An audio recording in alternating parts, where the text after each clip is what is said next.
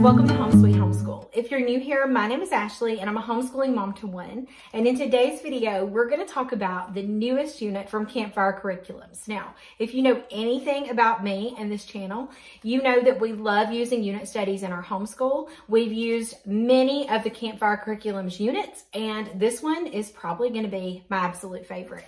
So fun fact about me, I love dinosaurs, but the other thing that I love just as much as dinosaurs is weather. And growing up, I either wanted to be a teacher or I wanted to be a meteorologist. And it just didn't work out. The teacher in me won. And so I haven't got to be a meteorologist. But this unit from Campfire is called Through the Eyes of a Storm Chaser and Meteorologist. And as I was printing this unit, I was getting so excited. So if you're looking for a wonderful weather unit or you're doing earth science and you want to stop for a minute and marinate a little bit in weather, then you might want to pick this up. This is amazing. So what I want to do in this video is give you a flip through and show you what it looks like because it does look a little different than some of the past ones that I flipped through it on here. They have tweaked it and it is amazing. So you definitely want to check this out. So what you need to know about Campfire, if you go to their website, campfirecurriculums.com, and you go to all their products, it's like in the drop-down box, all the products, you're going to find this. You can add it to your cart and purchase it. It's going to come to you as a PDF download because they only have PDFs. You cannot get it in print form. You could take this and have somebody print it for you. But when you get it from Campfire, it is going to come as a PDF. Um, you're going to get three levels. You have, and let me look really quick, advanced guidebook, growing guidebook, and early guidebook. And then you're also going to have a download for a core connections companion. My advice to you is to make sure when you are going to open those up, so those downloads are going to show up in your account, and when you get ready to open those up, my biggest recommendation that's going to save you a lot of trouble is please open it in Adobe. Adobe is free. You can download it on your computer. It's free. You can open it up because it's a great PDF reader. You're going to open in Adobe and when you go to print it, you're going to go to the advanced settings of your printer and you're going to select print as image. That's going to save you a lot of heartache if you'll do those two things. Now, if you still have trouble printing them, you can always look at their um, like help section and there's a whole thing about printer help. You can also email them. You can ask on Campfire Crew, which is their um, Facebook group, and someone will be glad to help you. So those are just some things I want you to know. So you're going to get those downloads and Another word of advice is I would open all of them. So there are recommended ages and grades for the different guidebooks, but I like to open them all and see what they all have to offer because sometimes in the youngest one, the um, early guidebook, there are some fun activities that even older kids would enjoy. So just open them all and see what they have to offer and then decide, do I want to print one book that the adult reads from or do I want to print one for each of my children? You can decide how it works best for you. So we're going to do the flip through. I'm going to show you the important things that you need to read before you get started. And then we'll do a really good flip through of the entire unit plus the core connections companion. Okay, let's get into the flip through. Of Through the Eyes of a Storm Chaser and Meteorologist. Now keep in mind, this is the growing um, journal here, the growing guidebook. So that's what you're going to be looking at. And let me make sure I've got you in frame, I hope. All right, so this is something you're going to want to read. These are the directions. It explains the guidebooks and the levels for each of them. Of course, like I always say, you know your child the best, so put them where you think they should go. And then there's some more examples of how to use this, where you can find more information if you need more of an explanation. Then you're also going to have over here your options. So using it at its most basic level, the middle of the road, and if you're all in. And this says, and finally. Here's the page you're going to read about, you know, why is there not a lot of worksheets? This kind of explains that to you. And then on this side, you're going to get to see what is the Campfire Curriculum's method. So you want to read all of that. It's so important not to skip that. This is your links and sources page. I went to this last night and it's amazing. It's got the links to all the videos. That's where you're going to find your, um, there's, okay, there's lots of things on there. There's a shopping list. There are book lists, all the links, all that kind of stuff are going to be found here. And you'll want to have that pulled up when you're doing the lesson so you can just click on the link. All right, this talks about you don't have to print it if you don't want to. This kind of explains the format of it. Here are some optional activities, quick reference. Your table of contents. So there are 12 lessons plus an appendix. This you need to read before lesson one, and it says that it's for the parents, but you can read it with your children. I think my son would enjoy it. After I looked over it, I think he would enjoy the information that's included right here. So we'll be reading that together, and then you get into your regular lessons. You have notes on the side, and then you have your lesson. So this does tell you, you can see like the skip if you want chemistry at the end of lesson two. It gives you everything you need right here. You have cool teacher moments that go along with the lesson. Here we have the blue font sidebar is just for your age group only. So this is the growing. So my son would read this to himself. We'll probably read it out loud, but he could read it to himself. And then there's the middle school bonus. And then your faith talk and your think tank. Now I've had some people ask, you know, if we use secular curriculum, can I still use this? I think if you remove the faith talk, you would be perfectly fine to use this. Don't take my word for it, but that's what I think, okay? Then you have your think tank. Here's your optional activities. They are recommended because they're a great way to learn and extend your learning, but they are optional. Do not feel like you have to do all of them. And then you have skip if you want. And as you can see, if you see this little arrow at the top, you know those are skip if you want pages. And there's a variety of ways that you can use the skip if you want pages. And then this just tells you that this page ends lesson one. You read this. I do like the stopping point that kind of just covers what you talked about that day. And you stop and, you know, you'll start fresh the next day. Here's lesson two. When you see this, that's your cue or your child's cue to go outside and check the weather and record it in their weather journal, which I'll show you at the end of this video. You have some discussion, cool teacher moments. As you can see, there are a lot of middle school editions here. So if you're doing this with a middle schooler, you'll want to use those. And here's all your learning activities. And just know you don't have to wait till the end of the lesson to do them. Make it work for your family. Fit them in how you want to. You could actually use these skip if you want pages as extra lessons. Here's lesson three. This is called a different kind of day. You're going to watch a little bit of a movie, so this has some questions to go with it.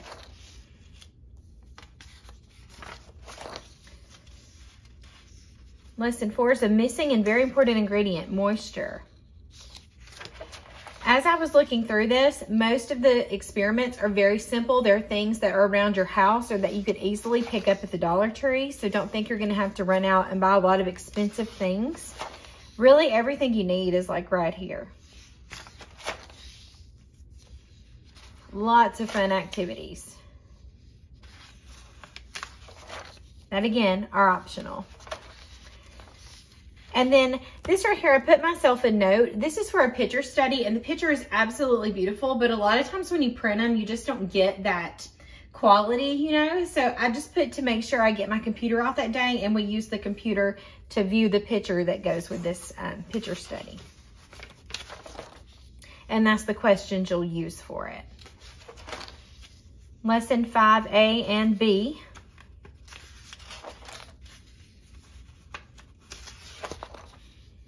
If I didn't mention, this is in a living book format, so that's very Charlotte Mason if you follow that um, philosophy, or you can look it up if you want to. It just is very pleasant to read. It's not like a textbook, so it's very enjoyable to read these. And as you can see, all the lessons are set up exactly the same way. Here's a little skip if you want game, but that would be fun. Everything printed beautifully. Um, no trouble with the images. Everything looks so good. Lesson six is all about tornadoes, which if you're from the South like we are, we're very familiar with tornadoes. Those happen quite often. I do like these pictures here. They kind of explain the, the vehicles that are used. Here's lesson seven. Looks like it's about lightning.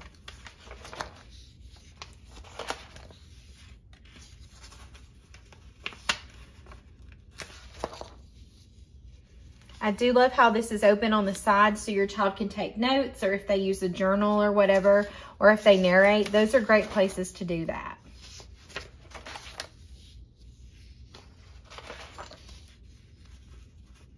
Lesson nine says back to wind. I really like the cool teacher moments. Those are neat.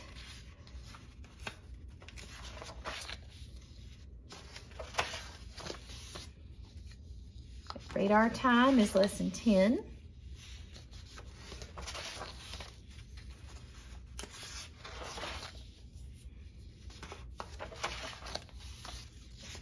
So many fun activities. And who doesn't love a good word search? I love word searches. Hurricanes. lots of videos to watch, which are really good. A lot of kids learn very well through videos. You keep seeing this core connections companion when you get to the stop. I'm going to show you that in just a second.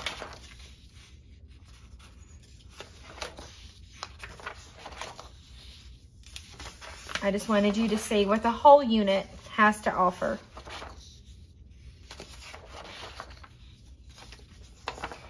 All right, so the appendix has this weather tracker and I kind of showed it really quickly when I did just a real quick flip through on the Campfire Crew Facebook page but it has this page in here that you can copy for your kids and um, they're going to use these little pieces to track the weather. I printed this on Avery sticker paper. It's a full sheet of Avery sticker paper. I'll link it down below from Amazon since we're always buy it.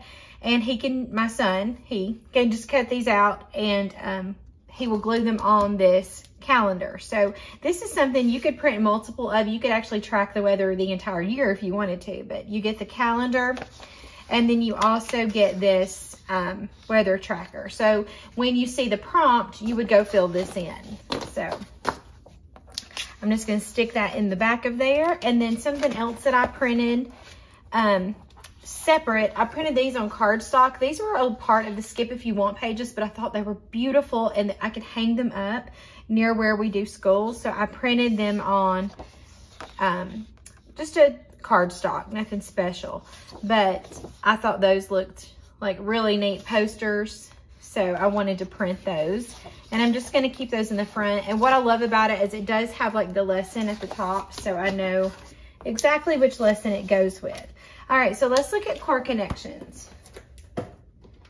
So core connections, if you're new to Campfire, these are just written out, really is just a courtesy. They're just being very nice to add these to it. These are just ways that you can incorporate your other subjects because like us, we use this as our core. So when we do this, we're not adding any other subjects in except for what's included. You do not have to do these core connections. You would be perfectly fine doing the unit exactly as it is without the core connections, but goodness gracious y'all, they're amazing and they really make such good connections between what you're learning and the other subject areas. So this includes all core connections for elementary to high school. So let's show you this. This says that this curriculum is so flexible, it can be used as an extracurricular or the foundation of your core. So this says if you're just doing extracurricular, you can definitely skip the core connections. You might want to skim through it just to see if there's something you want to do, but you can skip it. If you desire to use this, you would continue. So it says they include language arts lessons. They tie to the unit topic in unique ways and this unit's focus is on the seven elements of public speaking. Children need this. You can also incorporate more rigorous language arts lessons depending on your child. So if your child needs more, then you do more. Here is their language arts approach. You can read about it. They do recommend a separate math curriculum. Our history approach can be found on the same link above. It says they also tie in every lesson to American slash world history. So I wanted you to see this because this was something new too. So here is a quick view of what you're going to be covering in each of the lessons. So you can definitely check that out. And then it says middle school and high school students will have more difficult prompts notated throughout. So here's an important note about U.S. history. You definitely want to read this page. And I'm just going to show you kind of what it looks like. So for lesson one, here's your history talking about the thermometer. Here's your spotlight on American history. And then this says, like, would you rather listen to the story? There is a link where you can listen to this story. You know, if you need a break from talking or if your kids just learn better that way, there's a link to that. And then here's your all students, your middle school extension, and your high school extension. So those are all wonderful. And then you have some language arts. So the seven key elements of public speaking, it's going to walk them through that. And you have some spelling for each of the levels. And it tells you what to do with your spelling. And I printed them like this so I could have them separate for each lesson. So here's lesson two. You're going to talk about weather prediction and then a spotlight on American history. Here's your extension for middle and high school, your language arts, your task for today, and then your spelling continued. The day a tornado saved Washington, so spotlight on American history again. All students in your extension. And you're still working on public speaking and just your planning. So there's practice exercises, all that good stuff. So this is, says, um, highly recommended lesson, even if you don't use the core connections. That's why I always say you should open up everything just to get a good look at all of it because there's so many great things. So this is the Battle of Charles Darwin and Fitzroy. So it's about weather forecasting. And then what about Darwin? Spotlight on American history. Here's your extensions. This does say to expect a different level of skill from children of different ages.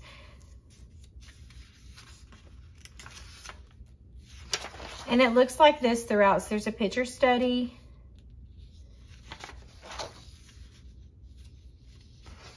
All kinds of wonderful things. And these are some pretty tough words. I mean, you could probably use any of these to see, you know, which ones you want your kids to work on.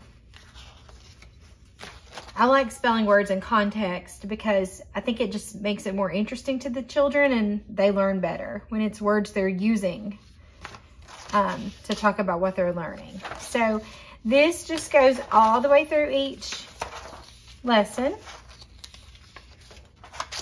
And it's just that simple. So again, you can use these if you want to, or you can totally ignore it. But I would definitely open it up and look at it. Just give it a good look through and see what you want to use.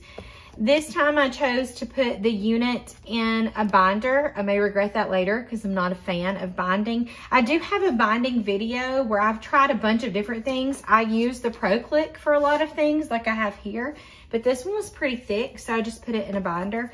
There are so many options out there for binding, so if you want to check out my binding options, I'll put that in the description box. But anyway, um, there you go. That's the flip through. All right, I hope you enjoyed that flip through of Through the Eyes of a Storm Chaser and Meteorologist. I hope you're as excited about it as I am. This is going to be our first unit of the new school year and how I'm going to wait on all summer long, I don't know because I'm so pumped about it. And I was showing my son and he was even getting excited about it. So if you have any questions about campfire curriculums and how we use it in our home or just how to use it, period, um, make sure you leave it down in the comments. I love talking about this, so if you need any help, let me know. Also, don't forget to join the Campfire Crew over on Facebook. There is one question you need to answer to be put into that group.